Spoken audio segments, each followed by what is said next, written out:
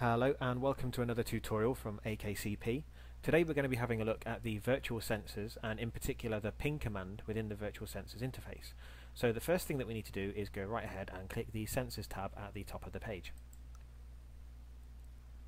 Once we've done that, uh, you then need to click on the virtual sensors uh, at the bottom of the page. You can see I'm already on this page at the moment.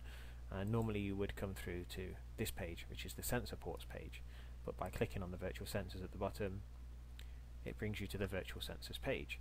Uh, so we'll choose a sensor port uh, in which to install our uh, virtual sensor and we'll go to virtual sensor port 2. Okay, and once we've done that we then get the configuration button that appears at the bottom of the screen and we'll go right ahead and click the configuration button.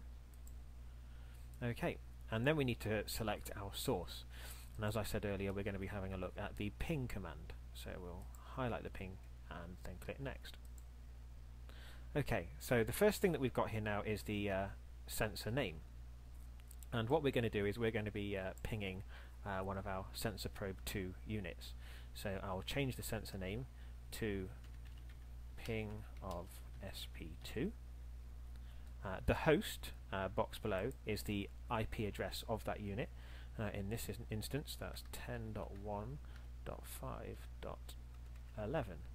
Uh, then below that we have our uh, normal state value.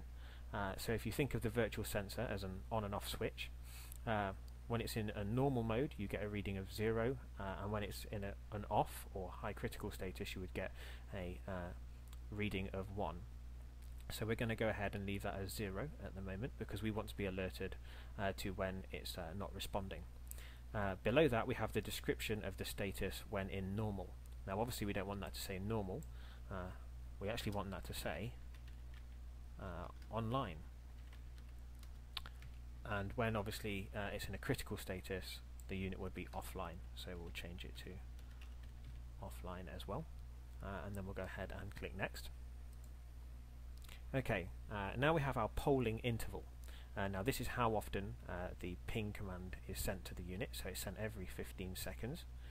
Uh, we also have the uh, execute the timeout, which is the uh, number of seconds between executing the ping command and receiving a positive response, and how many times it will retry, uh, and it will try three times. So we'll go and leave that as it is, and then we will click finish. And let's wait for this page to load up.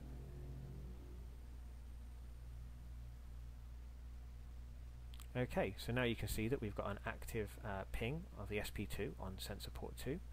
Uh, it's saved our ping of uh, SP2 as the title for the sensor name. Uh, and we now have some further options which have appeared uh, in our advanced uh, sensor options here. the first one is the graph to enable it, to have it on or off. We also have the sensor's URL. Now, unlike other sensors where you can type a website, what you'll want to type in here is http p colon forward slash forward slash. And then you want to type in the IP address of that unit. So again that would be 10.1.5.11 uh, let me just change that there. There we go.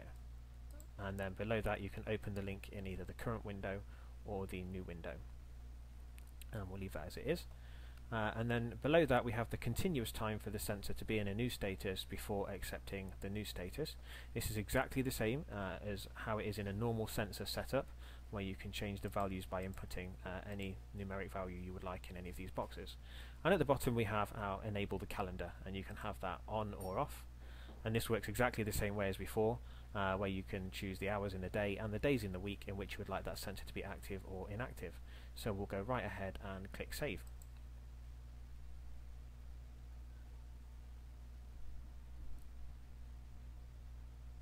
Okay, so that's all our settings uh, saved for the ping of the virtual sensor.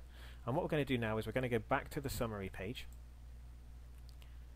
and you'll see that we now have a virtual sensor ping of SP2 and it is online.